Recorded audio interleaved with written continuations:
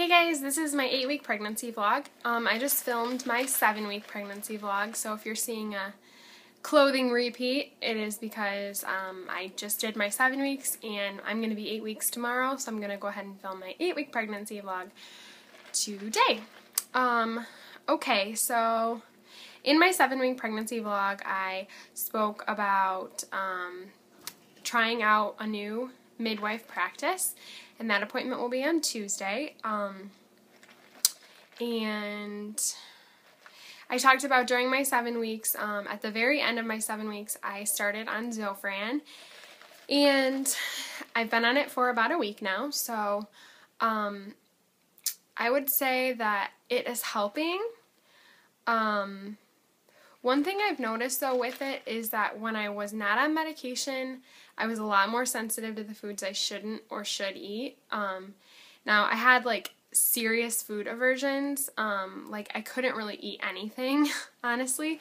Um, the one food that I could eat was um, saganaki, which I don't know if you guys know what that is, but it's like goat cheese, and they put put like an artificial brandy on it and light it on fire, and then um, squeeze lemons over it. It's a Greek, um, it's like a Greek appetizer. If you go to like a Greek Coney Island or something like that, they usually have it at places like that.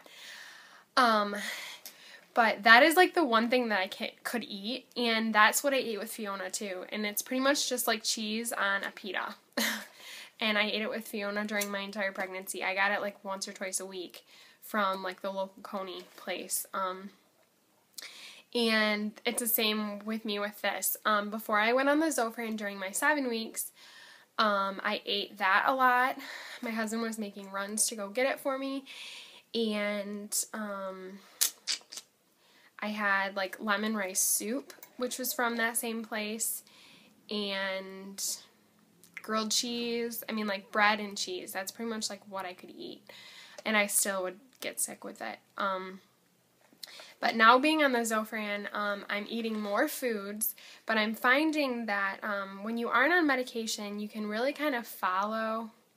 If you're craving something, usually your body will be able to eat it. If something sounds really bad to you, usually your body will get rid of it. So you shouldn't have had it. Um, at least that is that was a case for me. Um, now being on the Zofran, I don't really have I have some food aversions, but they're not as extreme as they were. So, like for instance, um, the second night or the, the second or third night that I was on the medication, I was feeling so great that I told my husband we need to go out to dinner. You know, I said I haven't been able to eat normally for like two weeks. Let's go out to dinner and I want a steak. which was not a good idea. Um, I went and got a steak. I went to like we went to Applebee's or whatever, and I got like the shrimp parmesan topped steak or whatever, some ridiculous steak with like mashed potato or French fries, um, and like vegetables. And oh my gosh, I was so sick. I got home and I was throwing up.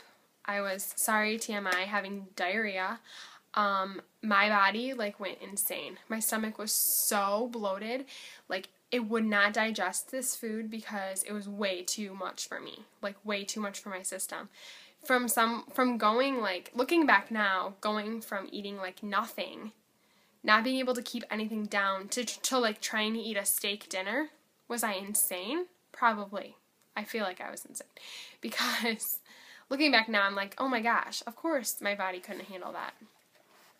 So that's something I've had to learn is that I have to like I have to really be aware of what I'm eating because even if it sounds good, um, it might be too harsh for my system because um, I don't have the same kind of food aversions or the same awareness to food that's not good for me as I did um, not being on the Zofran. So that has been something that I've had to um, to do, but I'm still eating saganaki. I went and got it today with my grandma. She's like, Do you want to go out to eat? I'm like, Sure, let's go to the Coney place. they have really good saganaki.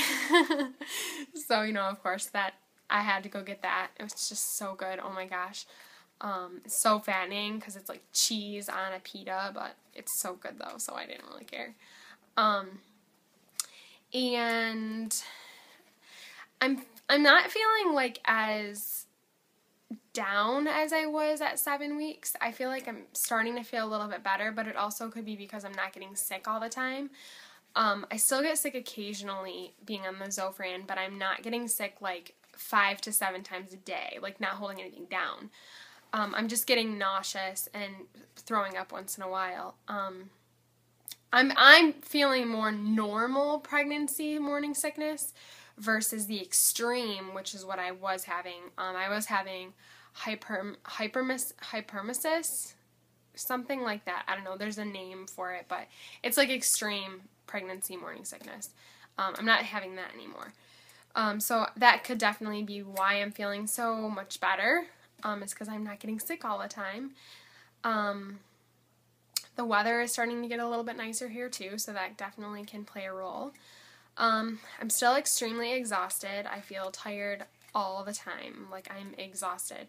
Now Fiona has been sleeping through the night now that we've been giving her bottles before bed. Um, so that has helped, but I still feel so tired. I, it doesn't it doesn't really change the fact of how tired I feel. Even if I'm getting more sleep at nighttime, I'm still waking up thinking, because I'm so used to waking up every three hours with her, my body still wakes up every three hours.